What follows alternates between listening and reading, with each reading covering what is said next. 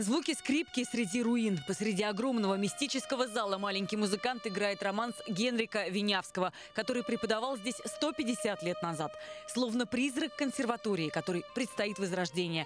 Это самая масштабная реконструкция здания за всю историю. Демонтированы балконы, которые будут восстановлены. Здесь будет два балкона в этом объеме. Также готовится портер для посетителей. Здесь будет порядка тысяч посадочных мест. Нам удалось получить эскизы этого зала. Вот как он будет выглядеть после реставрации. Исторический цвет стен, портер, но современная начинка, которая соответствует требованиям музыкантов 21 века. Появятся и совершенно новые пространства. Во внутреннем дворе идут работы. Здесь будет зона отдыха для педагогов и студентов. Двор перекроют куполом и построят новые этажи. Здесь будет несколько перекрытий, несколько ярусов. Ну, вот, и сверху будет стеклянный купол. Раз, два, три, четыре этажа, да? Да, появится дополнительные четыре этажа.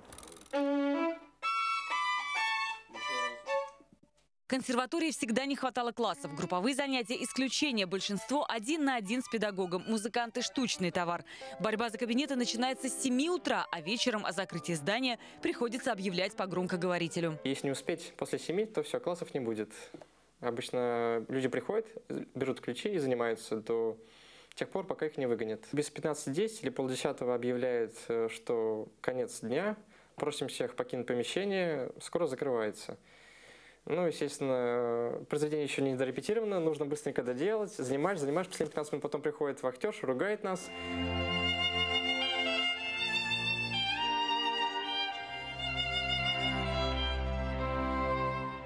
В новый корпус перенесли историческую мебель времен ректора Александра Глазунова. Сидя на потертом кожаном диване своих великих предшественников, нынешний ректор Алексей Васильев размышляет о развитии вуза. А на досуге руководит еще и собственной группой «Меломаны». Играет на бас-гитаре, пишет стихи и поет. Я не выдержу этого дождя, потому что он не про Живя на стыке классики и рок-н-ролла, ректор мечтает дополнить основную программу новыми направлениями, которых, по его мнению, не хватает вузу. Может быть, такие жанры, как джаз, например, или мюзикл. Может быть, пора консерватории э, внести какой-то вклад, потому что, ну, например, композиторская школа, она сегодня обязана быть современной для того, чтобы быть востребованной. Она не может оставаться строго в классических рамках. Ей надо как-то развиваться. О расширении программы более предметно будут думать уже после окончания реконструкции, года через два. Сейчас строители занимаются фасадом, чтобы успеть до холодов. Внутри уже избавились от переделок советских лет.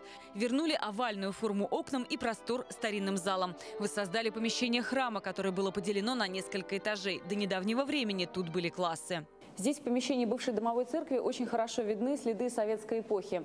То, что осталось от старых перегородок и веселенькие обои в цветочек, которые поклеили прямо поверх исторической росписи. Главное украшение зала Глазунова – орган скрывает саркофаг, который оберегает исторический инструмент от строительной пыли. Реставраторы расчищают лепнину и позолоту.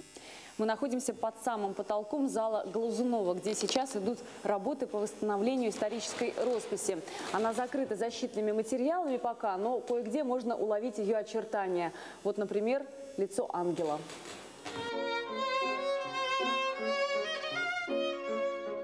Музыковед Валерия Соколова – прямой потомок знаменитого рода Демидовых, которые пожертвовали колоссальную сумму на строительство консерватории. И с тех пор вся семья Валерии связана с музыкой. А дома, по сути, частный музей истории вуза. Вот фотографии прапрабабушки. Ей дают урок знаменитый пианист и соратник самого Рубинштейна Василий Вилуан. А вот костяной веер с автографами великих музыкантов. Я перед собой держу листочек, на котором стоит подпись Юрия Брюшкова. 11 ноября 1929 год. Юрий Брюшков был ректором Санкт-Петербургской консерватории, вернее, Ленинградской уже консерватории. Те, кто учился здесь в разные годы и даже столетия, не боятся перемен в облике исторического здания. Для Валерии Соколовой дух консерватории в принципах подбора педагогов и традициях, которые заложили ее основатели еще 150 лет назад. Известны слова Глазунова, э, который принимал экзамен у Прокофьева, он сказал, что мне совершенно не нравится, что вы играете, это совершенно невозможно, но это гениально, и, конечно, вы будете здесь учиться. Вот я от всего сердца желаю это оставить в консерватории. Юбилейный концерт в Мариинском театре. За дирижерским пультом ректор знаменитого вуза. Звучат произведения великих педагогов и выпускников старейшей российской консерватории. Она станет частью гигантского музыкального кластера Петербурга. А пока замерла под строительными лесами в ожидании больших перемен. Евгения Альтфельд, «Пульс города».